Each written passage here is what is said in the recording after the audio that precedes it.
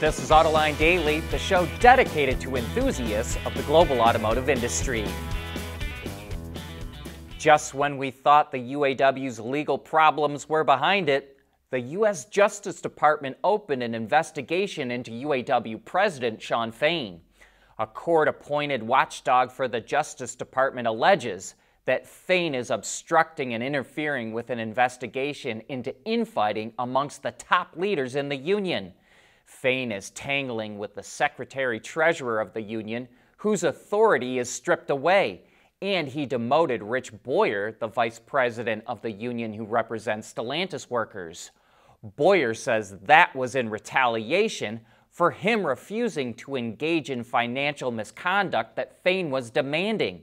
Worse, the watchdog opened a separate investigation into embezzlement charges against a top union official who remains unnamed for now. Anti union factions will undoubtedly pounce on these allegations as the UAW turns its attention to organize Toyota and Hyundai plants in Alabama after a stinging defeat at the Mercedes Benz plant in the state.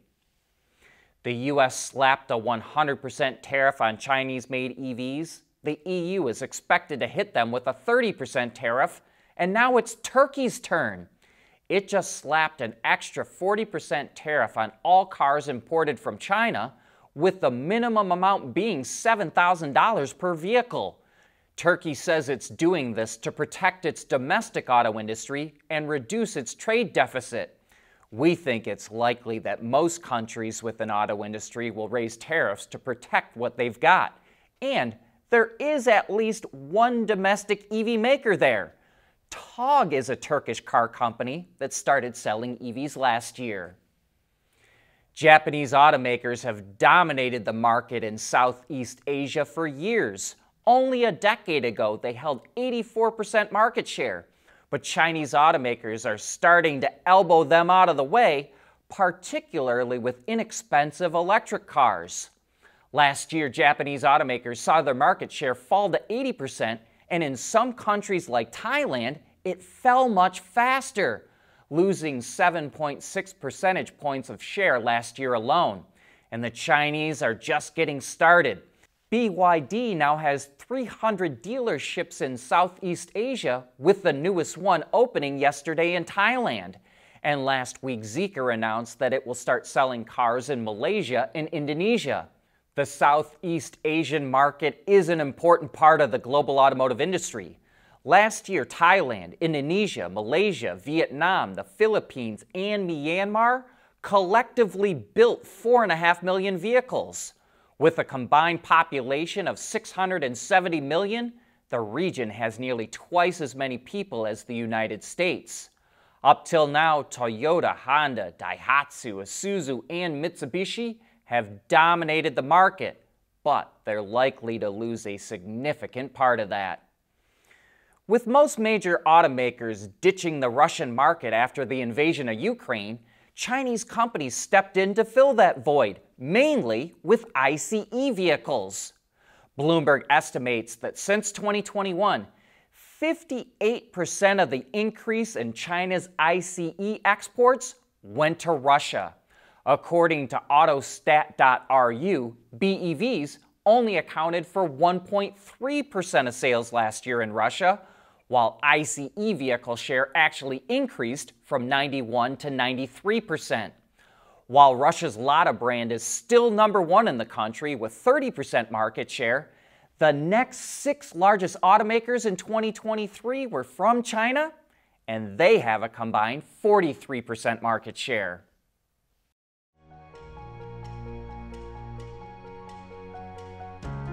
Michigan is leading the charge in mobility and innovation, and I can't think of a better state to be in.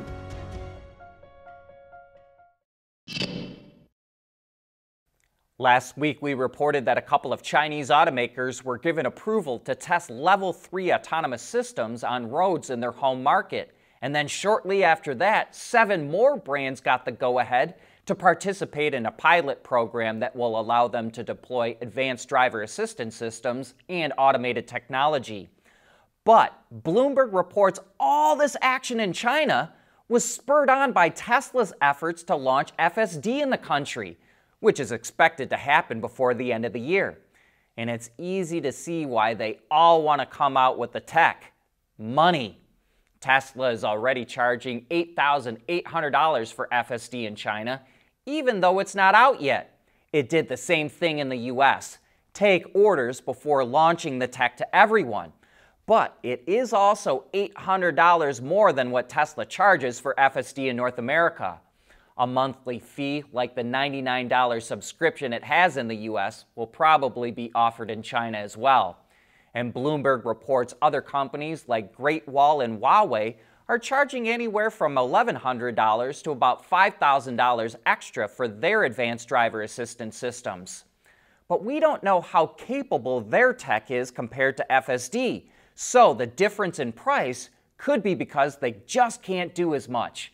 However, we have seen video from Chinese company Momenta of its system navigating some pretty complex driving situations.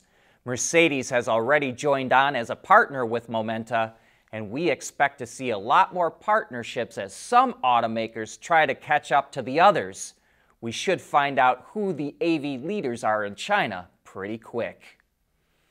Will this be Hyundai's entry into the affordable EV segment? It's an all electric compact EV that fits into the A class of cars called the Inster, which is a mashup of intimate and innovative, as well as an evolution of Casper, a name that it uses for one of its other cars.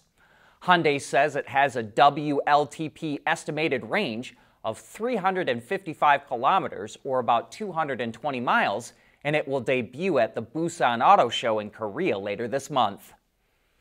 We saw a historical milestone reached in the industry last year for the first time ever, a Chinese automaker broke into the ranks of the top 10 automakers in the world.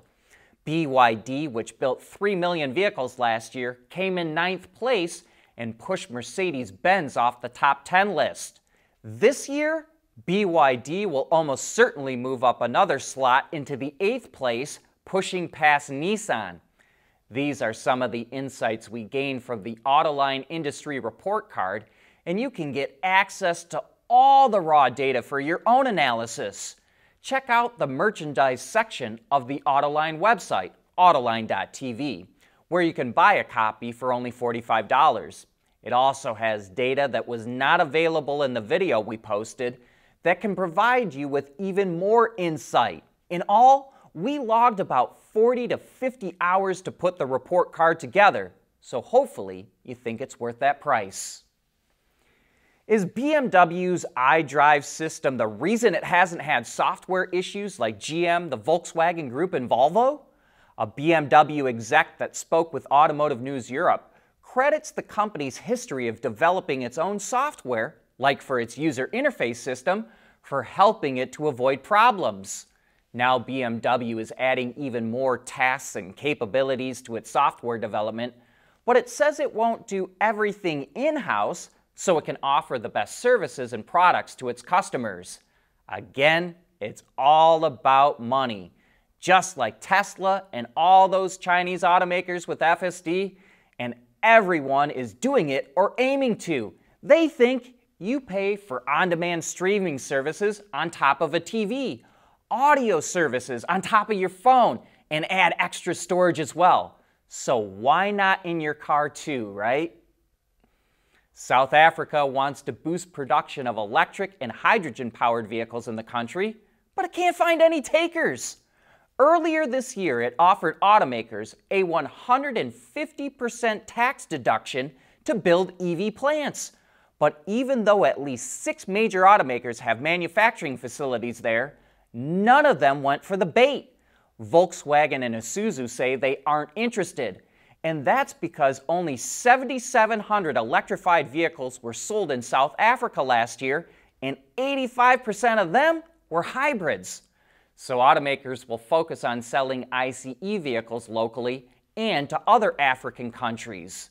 Isuzu says it expects ICE vehicles to dominate the African market for the next 20 to 50 years.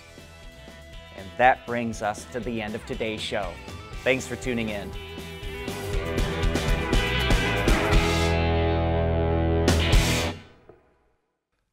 AutoLine Daily is brought to you by Bridgestone, solutions for your journey. Intrepid Control Systems, over the air engineering boost your game. MEDC, where Michigan businesses are powering the future of mobility. Teijin Automotive Technologies, the formula for better mobility.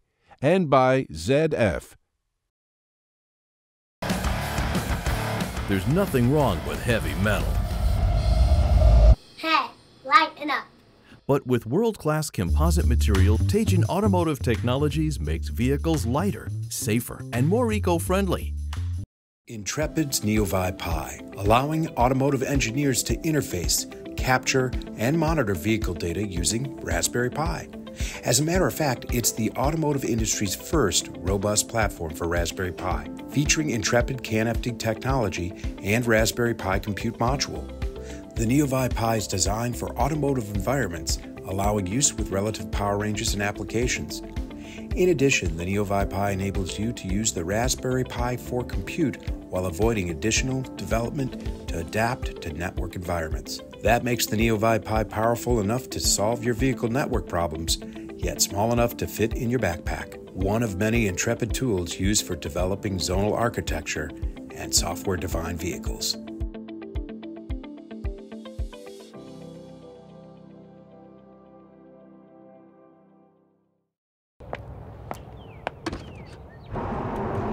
When the peace and quiet of your morning commute is as comforting as your morning macchiato. That's what really matters. Bridgestone Turanza EV tires, less noise for more quiet comfort.